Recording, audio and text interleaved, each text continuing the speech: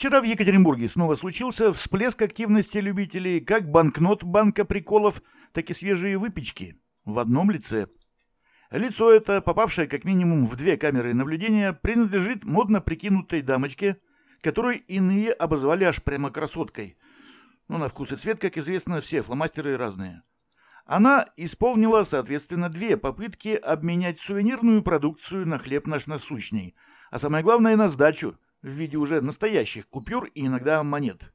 Местом первого испытания внимательности продавца стала хлебница на карауле 65. Женщина вся в белом собрала заказ и уже практически отдала его в руки то ли мошенницы, то ли аферистки, то ли фальшиво монетчицы, или как еще она выглядит с точки зрения закона. Вот тут и настал черед проявлять внимание.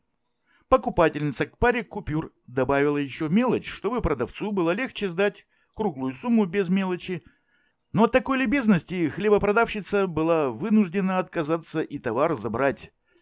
Эта же тетя, будучи разоблаченной, даже не вздрогнула и уже никуда не торопясь, аккуратно сложила бумажки обратно в портмоне, ничуть не смущаясь.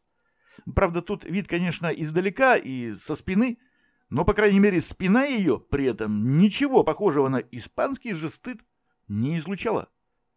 Вторым адресом ее вчерашней засветки опять же стал магазин с булками и прочей выпечкой на улице с бакалейным названием Мельникова, дом 38. Если в первом магазине она заказывала только шанишки, то здесь, натянув на голову капюшон, возжелала хачапури и сладких булочек. Результат точно такой же. Голодные игры с денежкой продолжились. Интересно, что в обоих случаях персонал даже и не подумал нажимать на тревожные кнопки.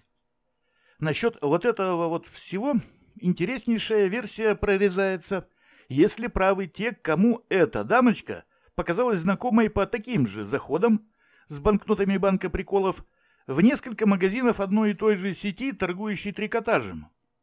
Если это действительно она и в том, и в других случаях, и она опять шастает по магазинам одной сети – то, может быть, это хозяева ее нанимают, чтобы держать в тонусе персонал в своих магазинах.